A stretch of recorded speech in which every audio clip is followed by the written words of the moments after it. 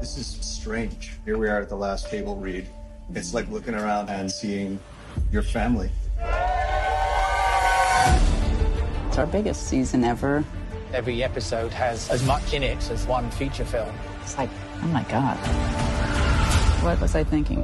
Winter's coming, yeah. I can't even begin to imagine how this is going to look on TV. Here we go. Been doing night shoots. I'm broken. I could not have worked harder. I really have given this everything I have.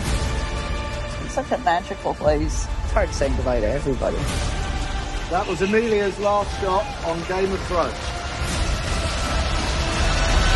This is a dream job, a director. This show saved my life.